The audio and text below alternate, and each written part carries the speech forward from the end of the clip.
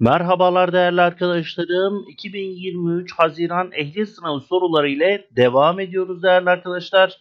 Kanalımıza abone olup bildirimleri açabilirsiniz. Böylece her yeni videodan haberdar olabilirsiniz.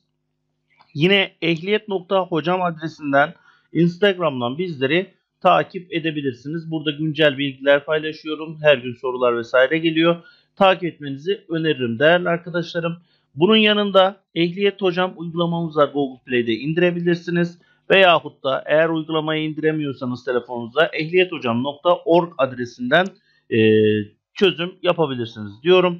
Son olarak Ehliyet Hocam kazandıran soru bankasını arkadaşlarım soruyor bazen nasıl alabiliriz diye. Sipariş kısmından e, alabilirsiniz. Hemen altta videonun yorum kısmında arkadaşlar veyahut açıklama kısmında numara bırakacağım. Veyahut da Instagram'dan bize ulaşırsanız size tedarik ederiz diyorum. Fazla vakit kaybetmeden hemen videomuzla devam ediyoruz. Aşağıdakilerden hangisi trafik görevlisinin geceleyin dur işaretidir? Şıklarımız verilmiş A, B, C ve D şıkları. Doğru cevabımız arkadaşlar doğru cevabımız tabii ki de C şıkkı. Biraz hızlı gidebilirim. Siz durdurup soru üzerinde düşünebilirsiniz. Yani ben e, doğru cevap vermezden önce. Doğru cevabımız C şıkkı dedik. Arkadaşlar şurada gördüğünüz gibi e, trafik görevlilerinin hangi durumda hangi işaretler yaptığını verdim. Buradan yine bakabilirsiniz. Bir yandan görüntümüz aksın. Sürücü hakkında hangisi kesinlikle söylenir demiş. Sabırsız, kavgacı olduğu, heyecanlı olduğu, kaygılı olacağı demiş değerli arkadaşlarım. Videoyu tekrar izlediğimiz zaman yeşil ışığın yandığını, bu sebeple yayaya tahammül edemeyen bir kişinin olduğunu görüyoruz değerli arkadaşlarım. Bu da bize kişinin sabırsız olduğunu ne yapar? Gösterir değerli arkadaşlarım. Doğru cevabımız A şıkkı olacak. Üçüncü sorumuza geçtiğimiz zaman aşağıdakilerden hangisi geçiş üstünlüğüne sahiptir? Arkadaşlar bir geçiş hakkımız vardı bir de geçiş üstünlüğü vardı değil mi? Geçiş üstünlüğü aciliyetine sahip devletin bazı belirlemiş olduğu araçların herhangi bir durumda geçmesi gereken üstünlük sıralaması. Geçiş hakkı nasıldı? Geçiş hakkı normal taşıtlar arasındaydı. Geçiş üstünlüğü ise özel olarak belirlenmişti. Şimdi A tarım araçları, toplu taşıma araçları, gümrük muhafaza araçları, yaralı ve acil hasta taşıyan araçlar. Doğru cevabımız Arkadaşlar doğru cevabımız tabii ki de D şıkkı ambulans vesaire değil mi? Bunlar mesela acil olaraktan e, taşınması gereken e, yerlere giriyorlar. Geçiş üstünlüğüne sahiptirler. Aralıklı olarak yanıp sönen kırmızı ışıkta sürücü ne yapmalıdır? Yavaşlayıp yolu kontrol ederek geçmeli. Trafik pardon geçmeli. Durmalı. Trafik uygunsa devam etmeli. Yeşil ışık yanıncaya kadar durmalı. Durmadan dikkatli geçmeli. Arkadaşlar eğer yanıp sönen kırmızı ışık varsa mutlaka duracaksınız. Çünkü dur levhası var ya bildiğimiz o anlama gelir. Daha sonra trafiği kontrol edip geçeceksiniz. Aşağıdakilerden hangisi trafik kazalarının topluma verdiği zararlardan biri değildir demiş. Üretim ve refah kayıplarının yaşanması, karayollarının zamandan önce yıpranması, uzun vadede kalkınmaya olumlu etki yapması, Açılan çok sayıda dava ile yargı sisteminde iş yükünün artması. Doğru cevabımız C şıkkı olacak. Uzun vadede kalkınmaya olumlu etki yapması olacak arkadaşlar. Bilinci açık ve tam tıkanıklık yaşayan bir kazazedeye hemlik manevrası uygulayan bir ilk yardımcının uygulama sıralaması nasıl olmalıdır? A 2 1 3 B şıkkı Ulan nasıl yazdın sen editör ya? Hepsini kaydırmış. B şıkkı 2 3 1 C şıkkı e, 3 1 2 D şıkkı ise arkadaşlar 3 2 1 Arkadaşlar e, hemlik manevrasının nasıl olacağını sormuş sıralamanın. Biliyorsunuz biz e, bunu ne zaman yapıyoruz? Kazazede tam tıkanma yaşadığı zaman yapıyoruz. Doğru cevabımız B şıkkı olacakmış. Yani öncelikle kazazedenin arkasına geçiyoruz. Sarılıyoruz. Gövdeyi kavruyoruz. Yani hemen bu kaburgaların bittiği yerden. Daha sonra bir elin baş parmağı midenin üst kısmına göğüs kemiğinin altına gelecek şekilde yumruk yaparak konuyoruz. Yani bir nevi birbirimize kenetliyoruz böyle elleri. Daha sonra kuvvetli bir biçimde kendimize doğru hastayı çekiyoruz ve ağzındaki nesnenin çıkmasını sağlıyoruz. Şekildeki trafik işaretini gören sürücü aşağıdakilerden hangisini yapmalıdır? Sağa dönüş lambasını yakmalıdır. Takip mesafesini azaltmalıdır. Yavaşlayıp varsa geçme yasağına uymalıdır. Yolun solundan gitmelidir. Doğru cevabımız C şıkkı olacak arkadaşlar. Yavaşlayacak, varsa geçme yasağına uyacaktır. Bu arada görmüş olduğumuz levha bizim tehlikeli ne demek? Sağ tehlikeli viraj demek arkadaşlar. Aşağıdakilerden hangisi trafik suçudur? Taşıma sınırı altında yük taşımak, tehlikeli madde taşıyan araçları geçmek, gidiş yönüne göre yolun en sağından seyretmek, aracın cinsine ve hızına uygun olmayan şeritten gitmek.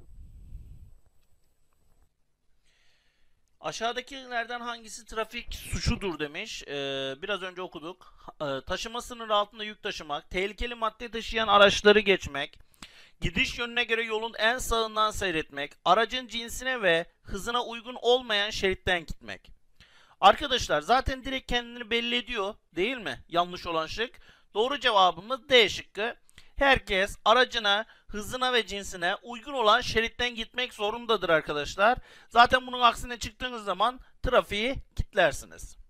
Aşağıdaki durumların hangisinde kazazedeye hemlik manevrası uygulanır? Kan şekeri düştüğünde, tam tıkanma yaşadığında, kanaması olduğunda, kalbi durduğunda. Doğru cevabımız B şıkkı olacak arkadaşlar. Tam tıkanma yaşadığında olacak arkadaşlar. Resimde görünen seyir halindeki aracın arkasındaki kırmızı tabelanın yan lambaların yanması trafikteki diğer sürücülere aşağıdakilerden hangisini bildirir? Aracın sola döneceğini, aracın sağa döneceğini, araçta frenleme yapıldığını, aracın geri gelmekte olduğunu. Doğru cevabımız C şıkkı olacak arkadaşlar. Araçta frenleme yapıldığını bize bildirir. Eğer beyaz renkte bir ışık yanıyorsa arkadaşlar bu da aracın geri gelmekte olduğunu bize bildirir. Aşağıdakilerden hangisi eklem yüzeylerinin kalıcı olarak ayrılması ve kendiliğinden normal konumuna dönememesi halidir? A kırık, B çıkık, C incinme, D burkulma. Doğru cevabımız B şıkkı çıkık olacak arkadaşlar. Kırıkta nasıldır? E, kemik yüzeyinin bozulması, normal yapısının değişmesi yani kırılmadan bahsediyor. İncinme ve burkulmada ise ya oradaki eklemdeki kaslar incinir ya da arkadaşlar küçük bir şekilde hemen çıkma girme oluşur. Buna da incinme diyebiliriz. Radyatöre konulacak su peteklerinin su peteklerin neresinde olmalıdır? Ortasında, hizasında, altında, üzerinde. Doğru cevabımız D şıkkı olacak arkadaşlar. Üzerinde olmalıdır. Sola dönüş yapacak olan sürücülerin aşağıdakilerden hangisini yapması yanlıştır? Dar bir kavisle dönmesi, döneceği yönü önceden işaretle bildirmesi, dönüşü tamamladıktan sonra hızına uygun şeride girmesi, kurallara uygun olarak karşıya geçen yayalara ilk geçiş hakkını vermesi. Doğru cevabımız A şıkkı olacaktır. Dar bir kavisle dönmesi olacak arkadaşlar. İlk yardım çantasında gazlı bez bulundurmanın amacı nedir? Etrafı temizlemek, kalp masajında kullanmak, yaralıları kapatmak ve sarmalak, yaraları kapatmak ve sarmak, kırıklarda ağrıyı azaltmak.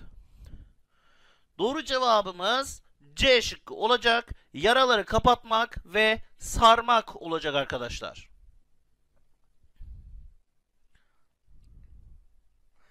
Aksine bir durum yoksa otoyollarda yolcu sepetsiz iki tekerlekli motosikletin azami hızı saatte kaç kilometredir? 70, 80, 90 ve 100 şıklarda verilmiş. Doğru cevabımız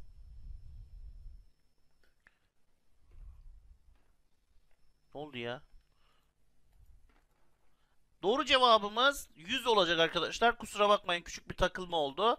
Doğru cevabımız 100 yani D şıkkı olacak arkadaşlar. Aşağıdakilerden hangisi motorda hareketin yükselmesine sebep olur? Pardon, hararetin. Soğutma suyunda antifriz olması, dispiratör kopağının çatlak olması, vantilatör kayışının gergin olması, aracın uygun viteste ve devirde kullanılmaması. Arkadaşlar soğutma suyu antifriz koyarsak çok güzel olur.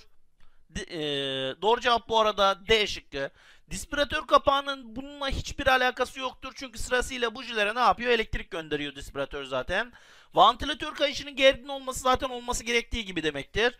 Eğer vitesi uygun devirde birinci vitese takar vın vın vın vın gidersen o zaman arkadaşlar ne olacaktır? Hareket, hararet yükselecektir.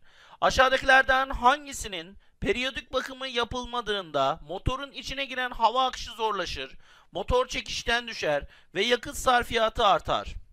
Yağ filtresi, hava filtresi, yakıt filtresi, polen filtresi. Doğru cevabımız B şıkkı olacak. Hava filtresi olacak arkadaşlar.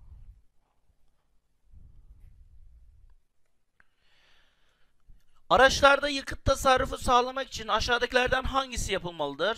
Termostat çıkarılmalı. Eskimiş buziler değiştirilmeli. Buzi diyorum değil mi? İyi. Lastiklerin hava basıncı indirilmeli. Motor yüksek devirde çalıştırılmalı. Doğru cevabımız B şıkkı. Eskimiş bujiler değiştirilmelidir arkadaşlar. Termostatı çıkarmak gibi durumunuz yok. Eğer böyle bir şey yaparsanız soğuk havalarda aracınız çalışmayacaktır. Hangisi motor ömrünü etkileyen en önemli faktördür?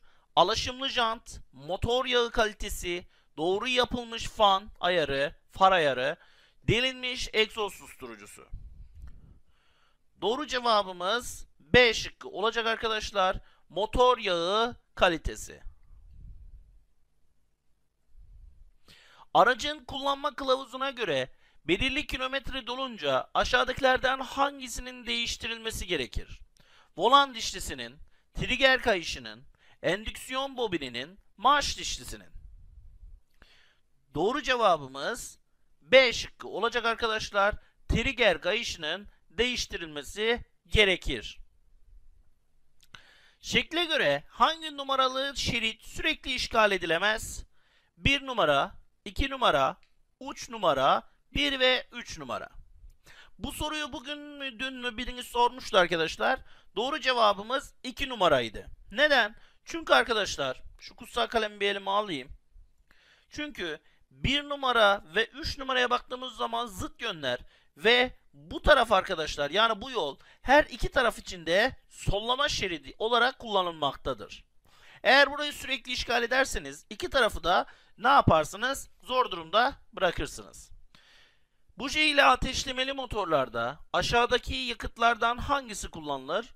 Alkol, gaz yağı LPG, benzin LPG, motorin LPG.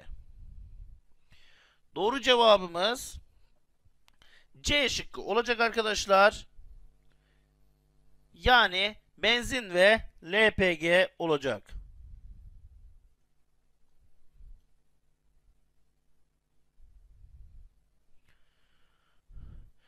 Bilinci açık, kulağından kan gelen, göz çevresinde ve kulak arkasında morlukları olan kazazedeye, olan yerinde herhangi bir tehlike söz konusu değil ise aşağıdaki ilk yardım uygulamalarından hangisi yapılmalıdır?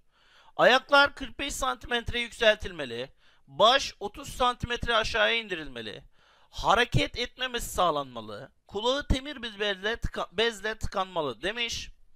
Doğru cevabımız C şıkkı olacak. Hareket etmemesi sağlanmalıdır. Kalbi çalıştığı halde solunumu durmuş olanlara yapılacak olan suni solunuma ne kadar devam edilir?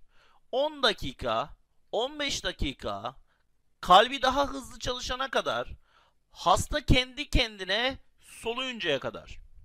Doğru cevabımız D şıkkı olacak. Hasta kendi kendine soluyuncaya kadar. Tepe üstüne yakın yerlerde veya dönemeçte arızalanan aracın ön ve arkasından en az kaç metre uzağa yansıtıcı konulmalıdır? 5, 15, 20 ve 30 şıklarda verilmiş. Doğru cevabımız D şıkkı olacak. Yani 30. Benzinle çalışan motorlarda silindirlerde sıkıştırılan yakıt hava karışımının ateşlenmesi ne ile gerçekleşir?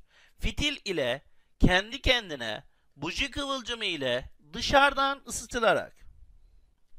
Doğru cevabımız C şıkkı olacak. Buji kıvılcımı ile arkadaşlar bu gerçekleşir. Eğer e, dizel bir motor varsa o zaman kendi kendine yani e, yakıt ve e, hava karıştırılır. Hızlı biçimde basınç uygulanır. Bu basınçla ateşleme gerçekleşir. Çocuklarda yapılan temel yaşam desteği uygulamasında göğüs kemiği kaç santimetre aşağıya inecek şekilde kalp basısı uygulanır? 2, 5, 8 ve 11 şıklarda verilmiş. Arkadaşlar gidip de 11'i işaretliyorsanız lütfen camdan aşağıya kendinizi yavaşça bırakın. Ya çünkü size pamuğu tıkamak isteyen imamlar dolaşsın ya. Ya bu nasıl mübarekler? Kurban olduklarım. 11 santim bir indiğini düşünün insanın ya bu göğüs kafesinin. Ya geçenlerde bu soruyu bir arkadaşımızla çalışırken o dedi ki hocam D şıkkı 11 olacak. Ulan mübarek. Sen nesin ya? Hulkan baskı yapıyorsun? Ne yapıyorsun? Doğru cevap 5 oluyor arkadaşlar. Tabi çocuklarla yetişkinler hemen hemen 4-5 santim aralığında basıyla kurtarıyorlar bu işi. İlk yardımcı olarak bulunduğunuz bir kaza yerinde renk kazazedelerden birinin öksürme ile ağzından açık kırmızı renkte köpüklü kan geldiğini gözlemlediniz. Bu durumda aşağıdakiler ki aşağıdaki organlardan hangisinin yaralandığını düşünürsünüz. Böbrek, akciğer, bağırsak, karaciğer. Doğru cevabımız evet B şıkkı akciğer olacak arkadaşlar. Akünün kutup başları araca ters bağlanırsa aşağıdakilerden hangisi arızalanır? Su pompası, şanzıman dişlileri, alternatör diyotları, diferansiyel dişlileri. Arkadaşlar biliyorsunuz ee, doğru cevap o yüzden C şıkkı. Doğru cevap şöyle açıklayayım. Alternatör bizim akümüzü şarj eden ee, bir aygıttır. Bir motor çeşidi diyelim. Ee, şarj dinaması da denir buna. Ne işe yarıyor? Akü şarj diyor. Eğer siz bunu ters bağlarsanız ne olacaktır? Alternatörün içinde bulan diyotları yakacaksınızdır arkadaşlar.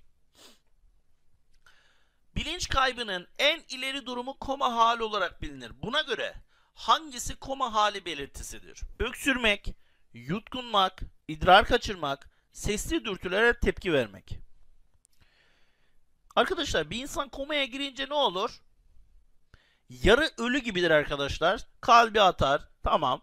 İşte kalp atar sadece. Solunum vardır bir müddet. Onu da zaten birçoğunda yapay yaparlar. Ama doğru cevap burada C şıkkı idrar kaçırmak. Hocam ne alaka? Adam öksüremiyor, yutkunamıyor, dürtülere tepki veremiyor ama idrar kaçırıyor. Nasıl oluyor bu iş? Arkadaşlar e, şöyle anlatayım bu işi size. Bir insanın ölmüş olsa bile e, boşaltım sistemi çalışmaya devam eder. Hani bu benim devamlı kullandığım bir söz var. Pamuğu tıkamak falan.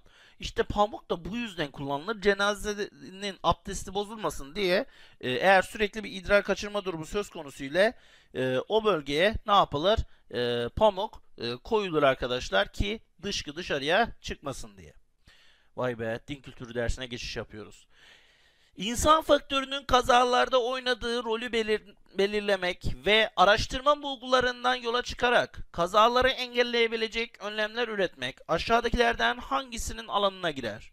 Adli tıp, kazazede, ilk yardım, trafik polisi. Doğru cevabımız D şıkkı olacak. Trafik polisi olacak arkadaşlar. Taşıtlarla ilgili aşağıdaki belirtilenlerden hangisi park etmeye örnektir? 5 dakikadan fazla beklemek, 5 dakikadan az beklemek, yük yüklemek veya boşaltmak, yolun kapalı olması durumunda beklemek. Doğru cevabımız A şıkkı 5 dakikadan fazla beklemek olacak. Arkadaşlar durma ve duraklama arasındaki farkı daha önce de anlattım. Durma vardır bir de. Durmada zorunlu bir hal vardır. Kırmızı ışığın yanması, trafik polisinin sizi durdurması bunlar durmadır.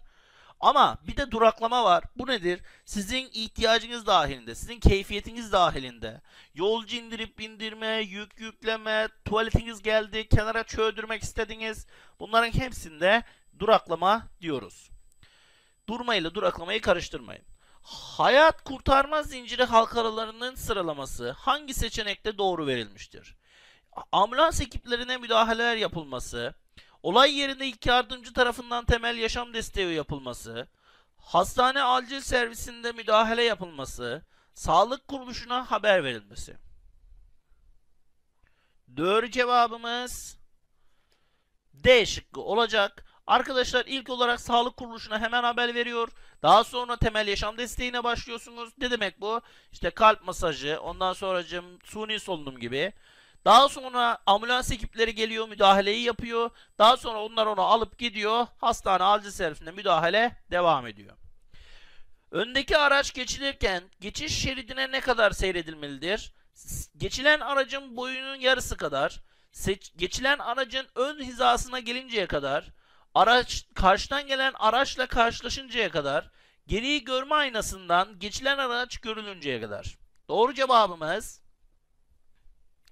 D şıkkı olacak. Hem dikiz aynasından hem de geçilen e, bu e, geriyi görme aynasından arkadaşlar ikisinden de görününceye kadar bekleyin derim. E, aman diyeyim hemen geçer geçmez dönmeyin. Yoksa %90 ihtimalle geçirirsiniz adama.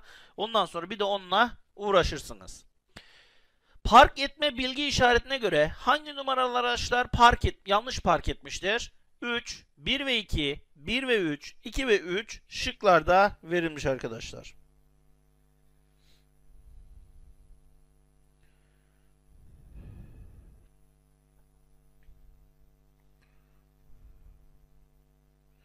Doğru cevabımız A şıkkı olacak. Yalnız 3 olacak arkadaşlar. Taşıtlarda kullanılan kararmalı dikiz aynaları ışık hüzmesi karşısında otomatik olarak koyulaşır. Bu sistemin sürücüye sağladığı avantaj aşağıdakilerden hangisidir? Gömüs kamaşmasını önlemek, direksiyon döndürme kuvvetini azaltmak, diğer taşıtlar tarafından daha iyi görülmek, gaza basmadan aracın sabit bir hızla gitmesini sağlamak. Doğru cevabımız A şıkkıdır. Göz kamaşmasını önlemek. Zaten bunu bilemeyeni dövüyorlar. 4 zamanlı bir dizel motorda emme zamanında silindirlere hangisi emilir? Hava, benzin, motorin, karışım. Doğru cevabımız A şıkkı. Hava emilir arkadaşlar. E, havada ısıtma bujileri tarafından ısıtılır, ısıtılır ve daha sonradan sıkıştırma e, evresine geçilerek patlatılır arkadaşlar. Bu arada buji yok onlarda. Isıtma bujisi dediğim şey sadece havayı ısıtıyor. Diğeri nasıl buji benzinli motorlardaki ateşleme yapıyor. Hangisi yolcu taşımacılığında kullanılan ve sürücüsü dahil 9'dan fazla oturma yeri olan motorlu taşıttır? Çekici, otobüs, otomobil, kamyonet verilmiş. Doğru cevap B şıkkı olacak. Otobüs olacak arkadaşlar. Aşağıdakilerden hangisi sürücülerde olması gereken davranışlardandır? Kendini üstün görmek, kendi kendine kurallar koymak, paylaşmayı bilmek, saygılı olmak ve saygıyı öncelikle başkalarından beklemek. Doğru cevabımız